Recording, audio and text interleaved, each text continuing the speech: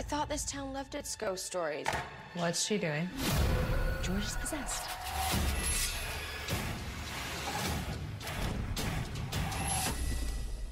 Is it you? Nancy Drew.